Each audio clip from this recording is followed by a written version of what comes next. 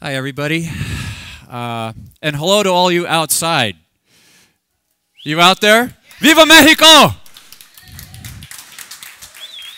So I thought, I thought we've got an inside, we've got an outside, and we need to have this collective energy combined. So an acknowledgement out there is important. Um, and thank you all for coming. Um, I've been asked to speak about art, revolution, calaveras, and death, and I've been given 12 minutes and I'm going to try to get it all in if I can. Uh, I got interested in this, uh, this subject of uh, death as a small kid, wandering uh, along the beaches in California, collecting fossils. And I found these dead things fascinating, and they've stuck with me all my life. Became a geologist, paleontologist, and one day, years later, I had an opportunity to uh, get to know uh, Mexican culture and a part of that Mexican culture was reflected in the art of Mexico through this guy, Jose Guadalupe Posada. Uh, he was born in Aguascalientes in 1852, and he was uh, a lithographer originally, working in big stones and cutting images out of his head. Uh, this incredible transference of genius of, of imagination that somehow gets stuck onto a big stone and then finds its way onto a piece of printed paper and into people's homes or into people's businesses. And it's just amazing. Uh, to those of you who are in graphic arts or those who have, you have read a book or architects out there where you, you take something that's an imagination and it becomes reality this is the kind of thing that inspires us, that makes life so valuable and so interesting.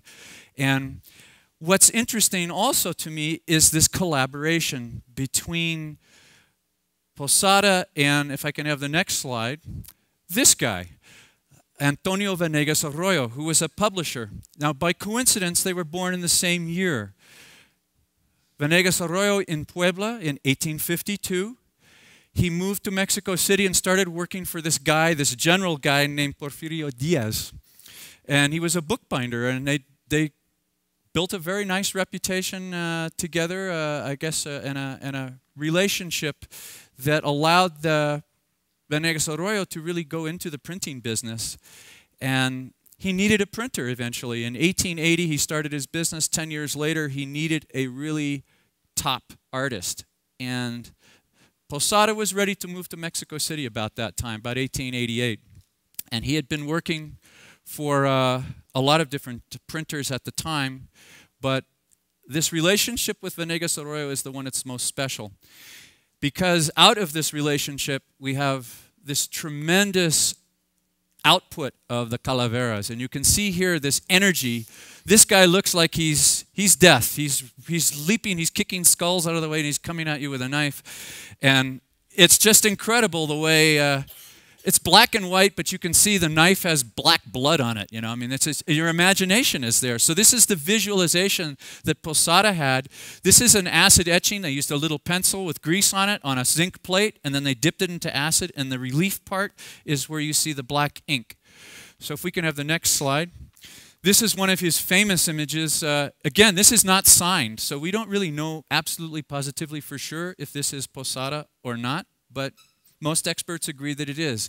It's the Calavera Don Quixote. And again, you can see this incredible frenetic energy flying out. And this guy, he means business no matter what you do. And this is the big message that comes across in all of the calaveras that Posada did is no matter what you do, no matter who you are, no matter where you hide, you know, you can sight back here.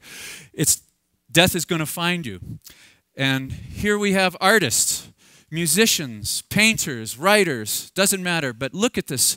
Look at the strokes, the way Posada uses the light uh, uh, of, the, of the burin, which is the little metal tool that scratches into the lead plate. And this is a lead engraving. Uh, it's the art, art, Purgatorios, the artists in, in purgatory. One, sí, gracias. so, again, image after image you see of, uh, of Posada's genius being uh, put out there through the printed uh, medium of Venegas Arroyo. Now, the really neat thing about these two guys working together was that Venegas Arroyo was a commercial genius. He knew what needed to sell. And so he found himself a top artist in Posada. And the two guys combined created works that sold all over Mexico, actually, even into the United States. The the calaveras were not the only thing that they created. They did a lot of religious pieces, they did a lot of political and historical works. And in this case, we have something that came a little later. The, the, the, left half side you see here is by Posada. You can see it's actually signed on the bottom.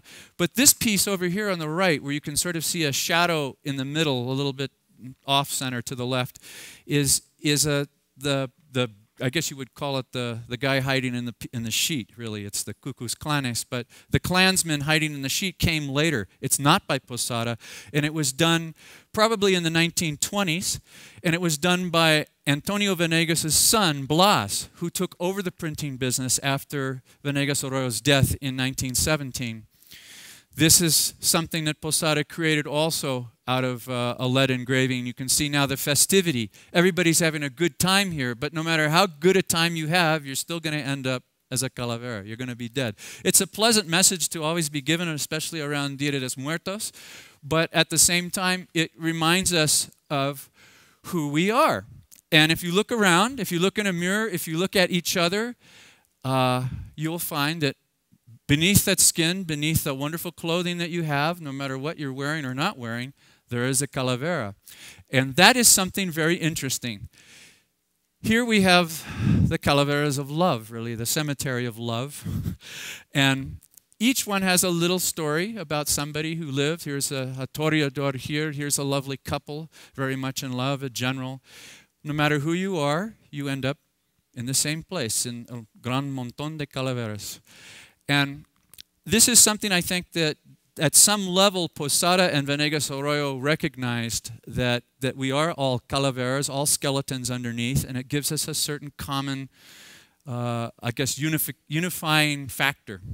And this unifying factor allows commentary, editorial comment, and it allows us to, to really move into uh, getting past our petty grievances or petty things that we do on our day to day life and perhaps look at things like social injustice or how might life be while we're still alive before we become a calavera? Can we do something positive with each other? Uh, so it's the power of the image, also the written word, but the power of the image is very important.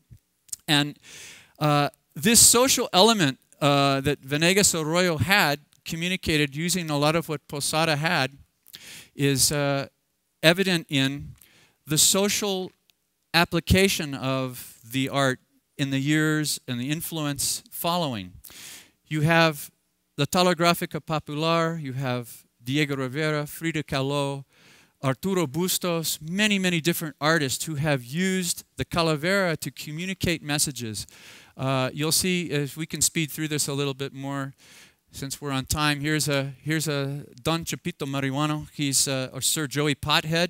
He was a, a sort of an editorial comment uh, at that time about the middle class. The kid, the kid, or Joey always had. He was always smoking marijuana. His eyes are bulging out. He's got this big head. He thinks well of himself. He would get into these imaginary uh, misadventures but it was a commentary on people who have it all made, but they don't really do anything with all the gifts that they have. It's a reminder to us of how we can go off off track a little bit. So next slide, please. Yeah, so here's the most famous one, perhaps the iconic image called La Catrina, the female equivalent of a Catrine. And a, a Catrine is a, a, a, dandy, somebody who thinks really well of himself, but doesn't really pay much attention to the social injustices, the, the issues of the day. And here she is reminding us that no matter how much money you have, how beautiful that hat is, we all have this common destination, which is the Gran Montón de Calaveras.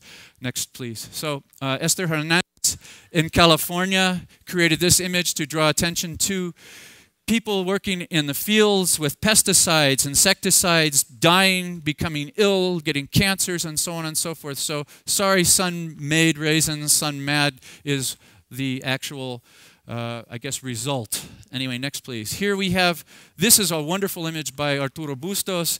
Uh, it's again showing us you want land? Well, here it is. You know, here's the land for you, and it's a grave. It's, a, it's just it's a very powerful image, very current. Uh, next, please. Here it's from the Asaro movement. These images, the, the vultures, the calavera, are right out of Posada, over a hundred years after Posada's death. Now, I will leave you with this last little bit here because I know we're short on time. The grandson of Antonio Venegas Arroyo was named Arsacio, and it's interesting that we would mention luchadores. He was a luchador. Uh, he took on the family business, the printing. He wrestled under the name Kid Venegas, you know, and uh, he wrestled for about 16 years. In the 1950s, a friend of his, a fellow, res- the wife of a wrestler, uh, introduced him to these three guys. And one of them was named Che Guevara, the other one was Raul, and the other one Fidel Castro. He trained them in physical conditioning prior to the Granma invasion in 1956. They lived for 18 months with the family. Arsacio not only trained them in physical conditioning, but the, the sisters, they hid guns uh, underneath uh, the house. They raised money for the Cuban Revolution. The, the printing press that, that printed these Calavera images, as you just saw, uh, printed up bonds which were sold in the United States to support the Cuban Revolution. So the question then becomes from this very beginning of the Venegas Arroyo printing house and the association with Posada, the caring and the desire, the looking at the social injustices represented through the calaveras, the imagery.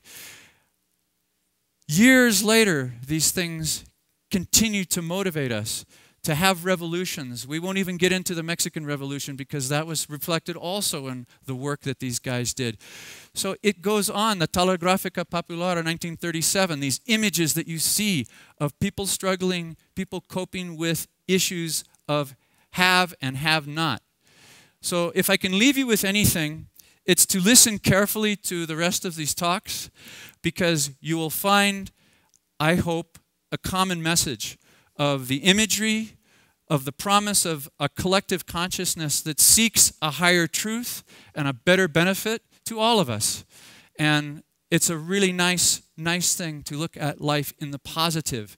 There's a plenty of negative out there, but if we seek the positive and we work towards that, then it becomes something so much more valuable and something so much more worth celebrating, even on a Dia de los Muertos. Thank you very much.